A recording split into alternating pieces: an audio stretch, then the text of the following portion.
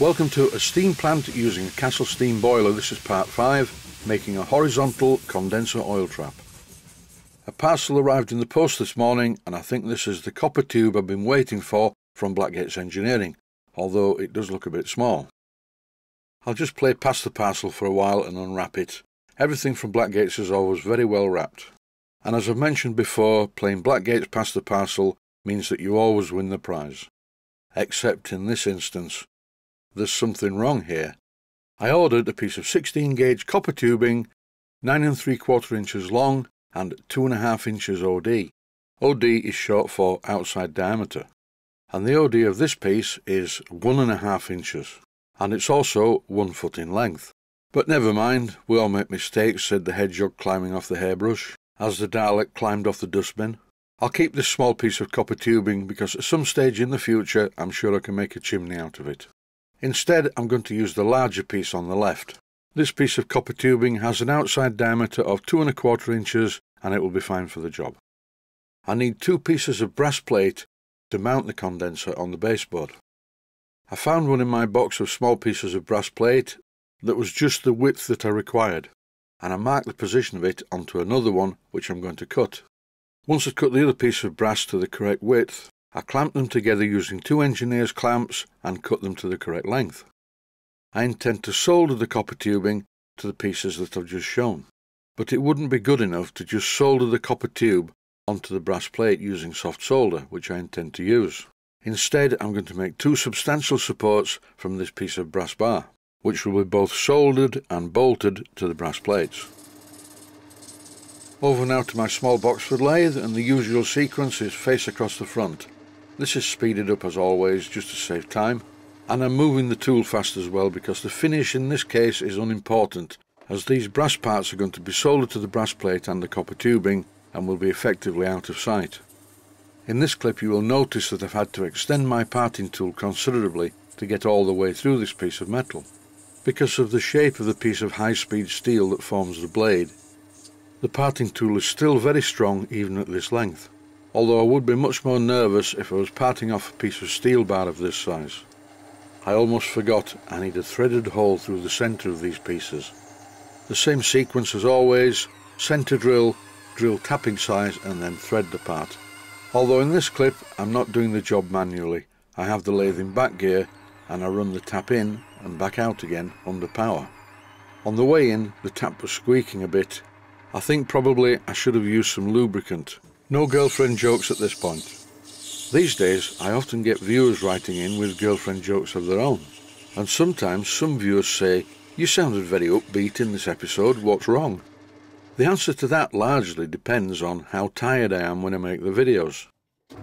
This morning, for instance, on Saturday the 15th of August 2020, it's 12 minutes past 10, and I'm voicing over the video in the editor. I edited it last night and had a really good night's sleep. Sometimes, though, I get up very early in the morning, and that's usually when I make mistakes because I'm very tired. Before my brain wakes up, I'm sat at a computer, drinking a cup of tea and voicing over at the same time.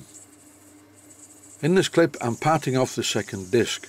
When I drilled the hole in the centre of the first disc, I went all the way through into an estimate of how deep the second disc was going to be and with the tap I threaded the hole a good bit deeper.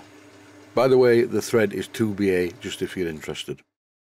Now I have two quarter inch thick pieces of brass that I'm going to bolt to these side panels. Before I do that though, I need to drill a hole in a certain place on each of the side panels. And I would like this hole to be in the middle, so I'm using a ruler to find the midpoint, and here's a scribed line. I've noticed something really odd. During the COVID 19 lockdown, and even now the lockdown is easing, I've been excessively washing my hands.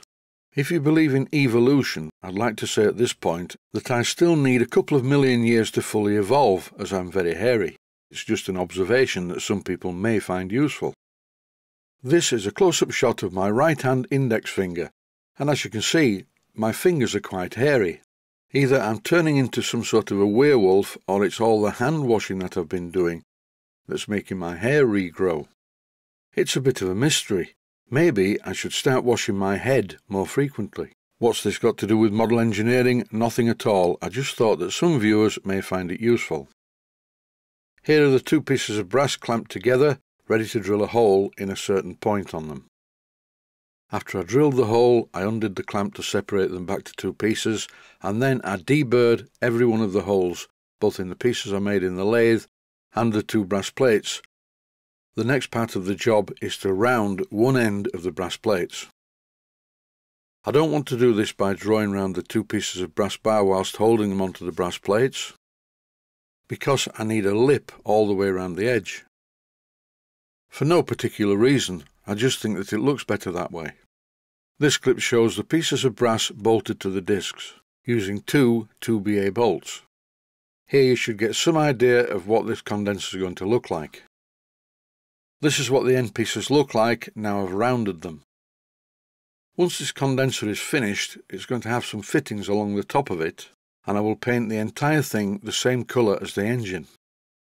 In the next video I'll show how I make the fittings for the exhaust inlet and outlet as well as the tap to drain the condensate.